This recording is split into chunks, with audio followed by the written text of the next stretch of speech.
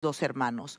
Bueno, esta vez Tomás se lanza el primero de junio en el, en el anfiteatro del Parque de la Exposición junto a Raúl Romero y junto al grupo Amén. Ahí será su gran debut con una canción que no nos ha querido todavía mostrar porque dice que será la gran sorpresa, pero también ha compuesto una canción que en los próximos días, por el Día de la Madre, se lanzará. Y es una canción que se llama Incondicional pero no quiere la, no estamos hablando de Pamela López ni ese tipo de incondicionales, estamos hablando de incondicional el amor de una madre.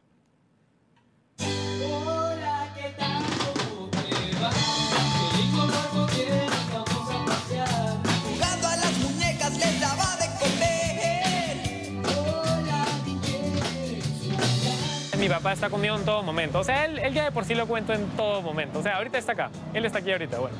¿Me entiendes? estoy enamorando. Sé que para toda la vida.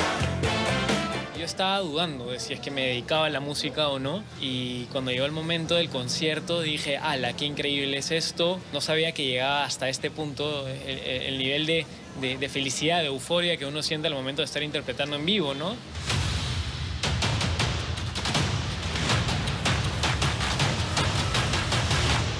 ¿Estás preparado, Tomás?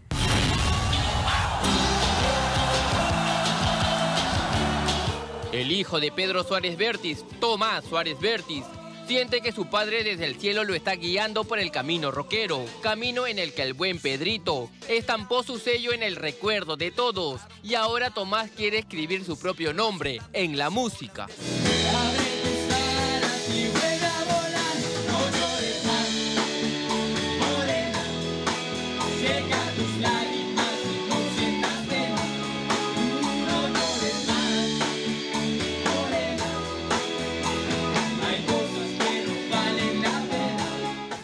Tomás a sus 19 años es el menor de los hijos de Pedro, el clon, el chiquitito travieso que como contó su padre, lo piloteó para llegar al mundo.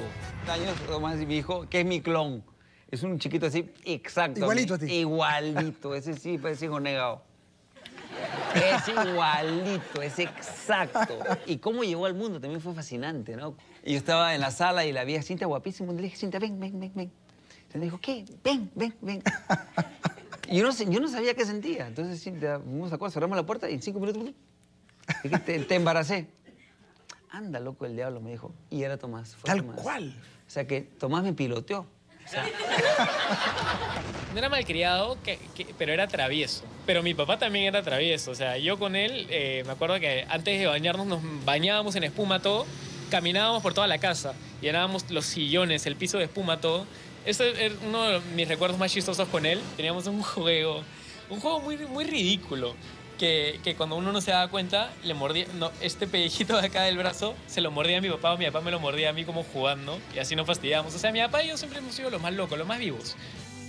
El mini Pedro nos cuenta que su viejo era de esos padres presentes, apapachadores, y admite que a diferencia de sus hermanos, por ser el Benjamín, con él tenía más complicidad, porque Pedro desde niño le regaló su piano y su guitarra, porque quería que su Tomasito sea un rockstar, sueño que se está volviendo realidad, porque el clon de Pedro, el primero de junio presentará su primera canción, Me recuerdas a alguien.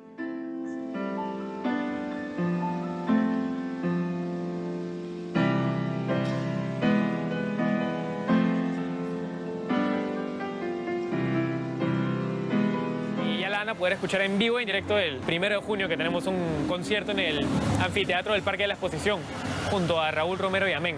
Inclusive antes del lanzamiento de Me Recuerdas a Alguien, estamos trabajando una gran sorpresa con el grupo Tabernero, una campaña súper bonita por el Día de la Madre. Inclusive estamos lanzando una canción la canción Incondicional. Una canción más tranquila, o sea, más, más feeling, un poquito más lenta que Me Recuerdas a Alguien, pero igual de bonita.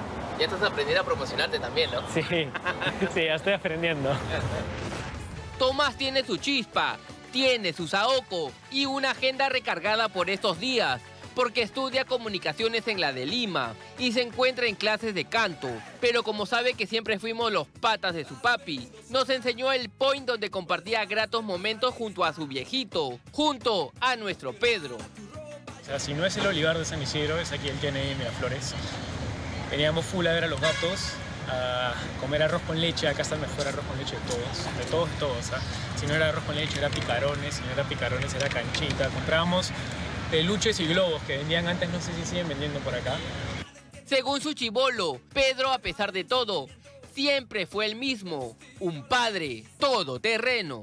Tú eras muy chico cuando le pasó la enfermedad a tu papá. El tema de mi papá fue un tema degenerativo. Era estar más que nada en la casa y hacíamos también diferentes planes y, y como que cosas divertidas en la casa, ¿no? Veíamos videos chistosos, era demasiado engreído y meditaba desde su cuarto, eh, vamos a analizar juguetes. Analizábamos todas sus articulaciones, los colores, los detalles, los materiales, todo. Y ese era un pasatiempo increíble para mí, porque como tú sabes que él ya su, mente era gigante, lograba ingeniar historias para cualquier muñeco que le daba. Si yo hacía un muñeco de plastilina, le creaba una historia también.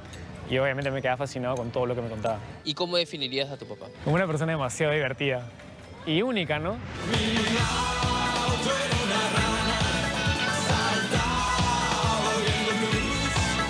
Siempre estuvimos con Pedro Suárez Vértiz cuando su auto era una rana y ahora acompañamos a su cachorro, un chivolo que nos recuerda al rockero, que se elevó llevando los globos del cielo.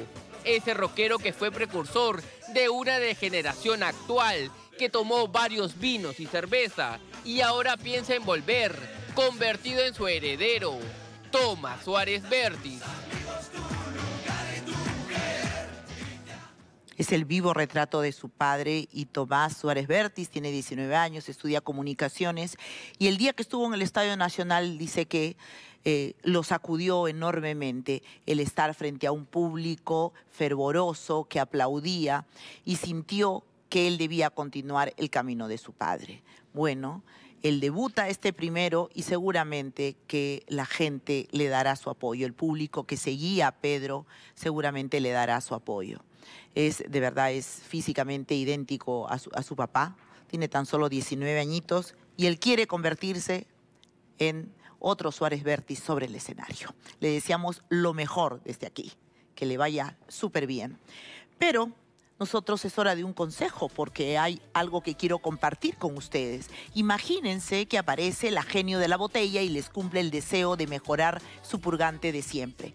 Así es, ahora tu limonada purgante Marcos, libre de calorías, viene sin azúcar. Tal como deseabas, limonada purgante Marcos, libre